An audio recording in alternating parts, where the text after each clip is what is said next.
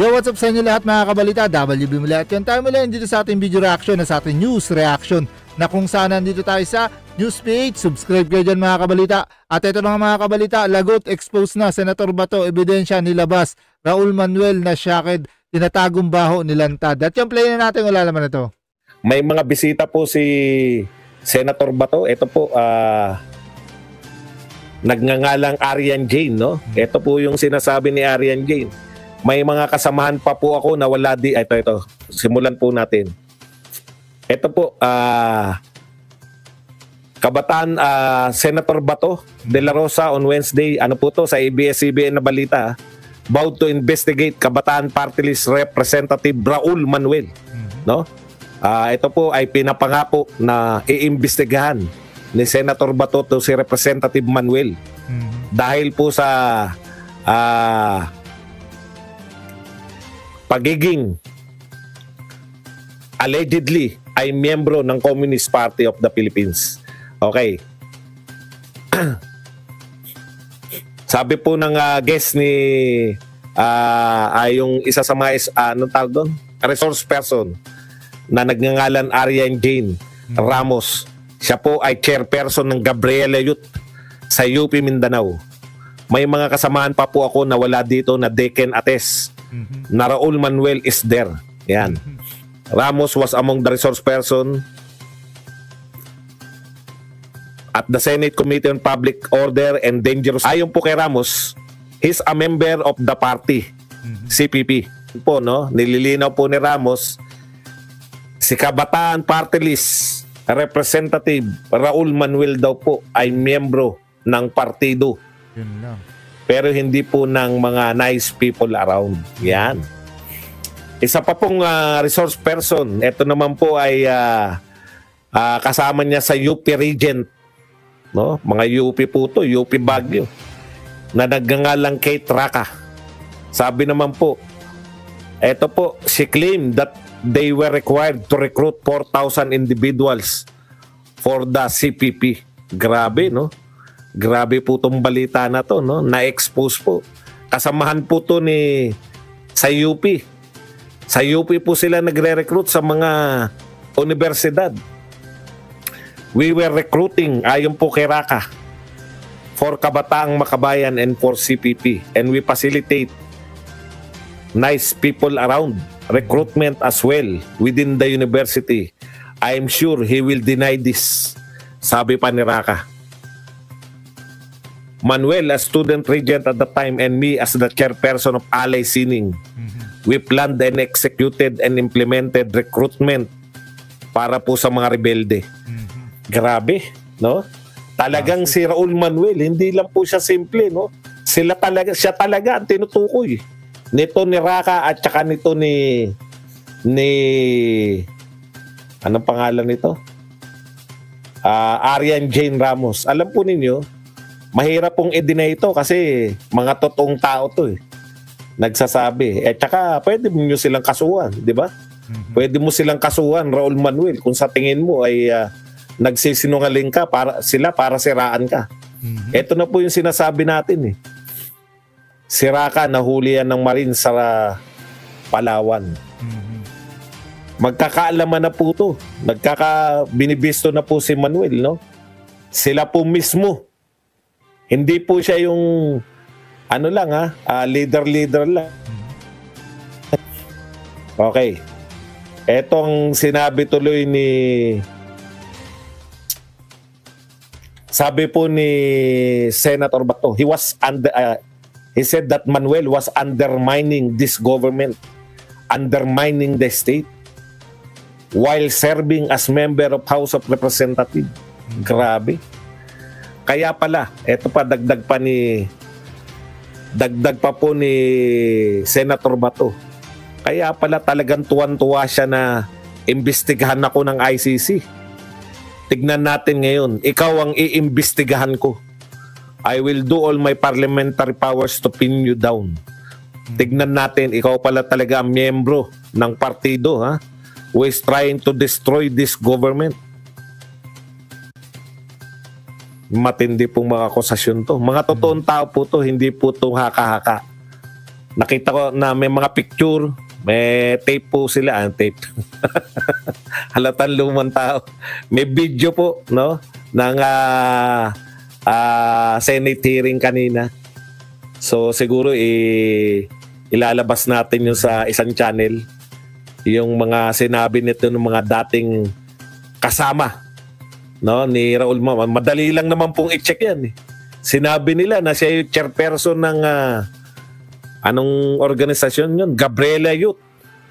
O di, check nyo sa Mindanao, kung UP Mindanao, kung totoong siya ay uh, yung nagsasabi, baka sabihin nyo, di ba? Ang dali namang i-check dyan, may mga listahan naman yung UP. Totoo ba na ito si ito nag-aako sa kay Manuel ay uh, totoong uh, estudyante ng UP at chairperson ng ano chairperson ng uh, Gabriela Youth.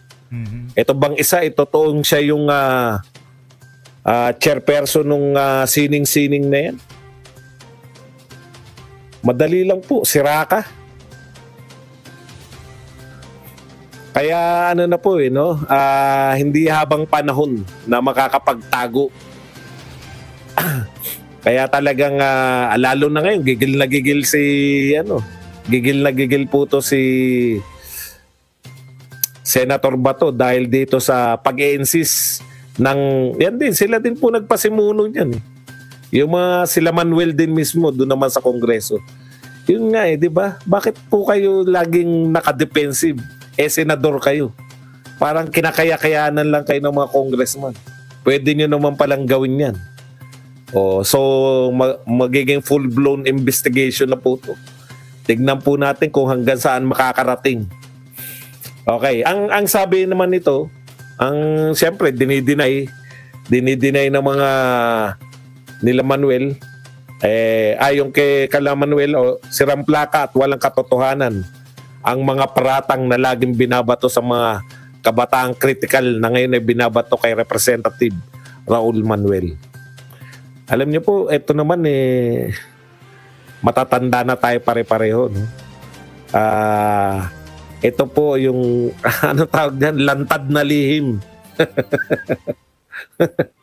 lantad na lihim. Tapos, mag-e-enter pa tayo sa panibagong pistok ngayon. Sana mag-isip-isip po, no? Ayon nga kay uh, Attorney Panelo, eh, etong nasa likod ng pistok, eh mukhang lihim nakaaway daw ng pamala.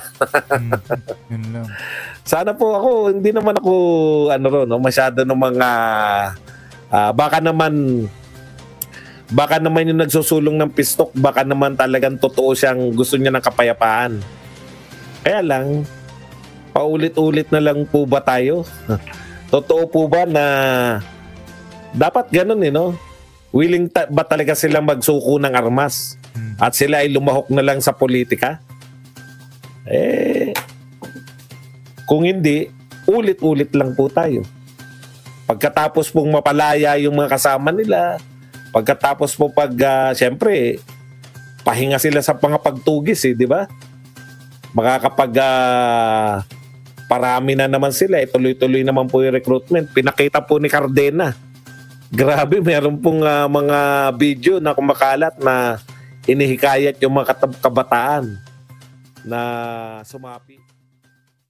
At yan nga mga kabalita natin yung mga ilang patungkol ng mga pahayag at balita dyan no na kung saan ito nga yung uh, patungkol nga kay Raul na kung saan yung uh, pag-uugnay sa kanya dito nga sa mga CPP, NPA nga na tila nga ba talaga isa siya sa mga kasapi o mga kaugnay rito no mga kabalita natin na talagang ito nga umano yung nagiging gawain nga daw ni Raul na kung saan eh talagang uh, isa sa mga itinuturong nagre-recruit umano no sa mga kabataan itong si Raul ang uh, nagiging uh, punto. Ang nagiging punto ni Badong Aratilis nga na ito nga si Raul nga eh tila nga ba talaga eh malaki yung uh, talagang eh nagiging papel na ginagampanan dito nga no sa mga makakaliwang grupo o dito nga sa mga rebelding grupo na to mga kabalita natin na ito nga si Raul ang uh, nagpapalagana po talagang eh nagbibigay syempre simpatsya no para sa mga rebelding grupo na to mga kabalita natin. At diyan pa nga yung uh, patungkol nga syempre sa pistok dito sa ating uh, bansa.